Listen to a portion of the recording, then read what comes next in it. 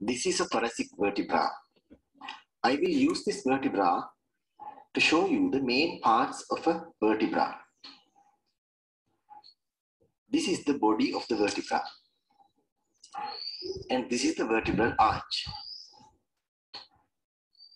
There are several parts in the vertebral arch. The pedicles, the lamina, the transverse processes,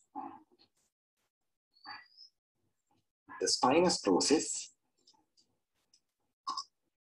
and the superior and inferior articular processes. This is the vertebral foramen.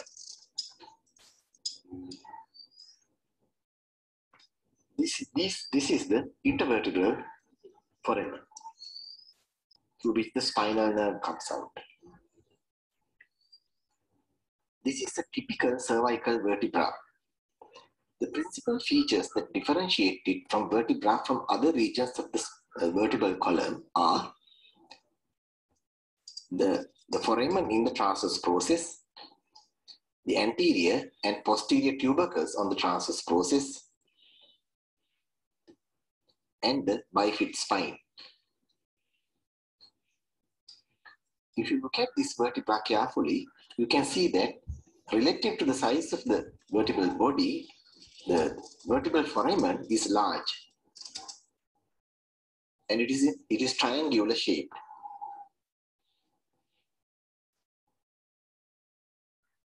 This is the first cervical vertebra, atlas. It is an atypical cervical vertebra because it does not have a body a spinous process here. Instead, it has a, an anterior arch and an anterior tubercle on the anterior arch, a posterior arch, and a posterior tubercle on the posterior arch. This is a groove on the posterior arch for the vertebral artery.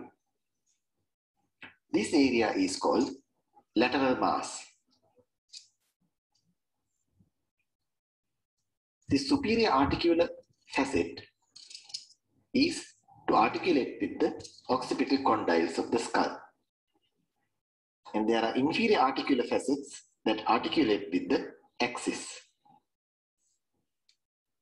Here, on the inner aspect of the anterior arch, there is an articular facet for the odontoid process of the axis. These are tubercles for the transverse ligament,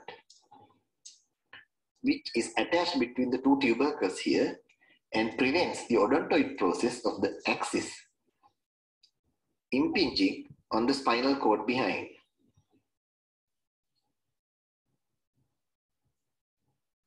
This is the second cervical vertebra, axis. The feature that differentiates it from all other vertebrae is the odontoid process, or dens. This articulates with the anterior arch of the atlas. This is atlas and axis. This is how they are articulated they can move like this.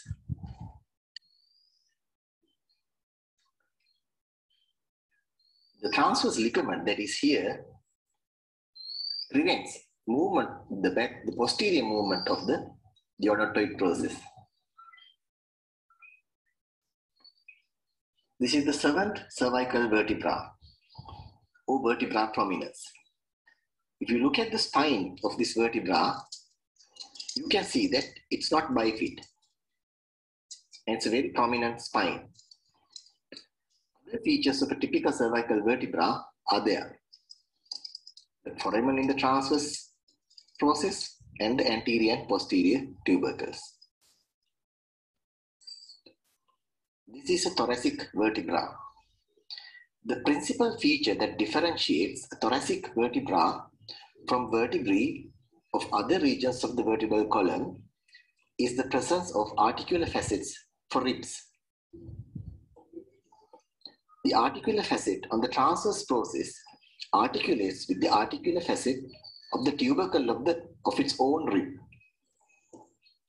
And these articular facets on the body are half facets. Therefore, they are called demifacets. The upper demifacet articulates with the facet of the head of its own vertebra. The lower demifacet articulates with the facet on the head of, of the rib below that level. If you look at other features of this thoracic vertebra, you can see that the spinous process is non-bifid. It's long and slender. And you can also see that the transverse process has no foramen here, like in cervical vertebrae, and there are no tubercles here. The vertebral foramen is small and rounded. This is a lumbar vertebra. Notice the large kidney-shaped vertebral body and the relatively small triangular-shaped vertebral foramen. If you take a lateral view, you can identify the thick quadrilateral shaped spinous process. It is horizontally placed. If you look at the superior articular facets, you can see that they are facing inwards or medially. The inferior articular facets, on the other hand, are facing outwards or laterally. If you take a look at the body, unlike the thoracic vertebrae, these will not have articular facets on the body on the transverse process. And there are no foramina uh, in the transverse processes.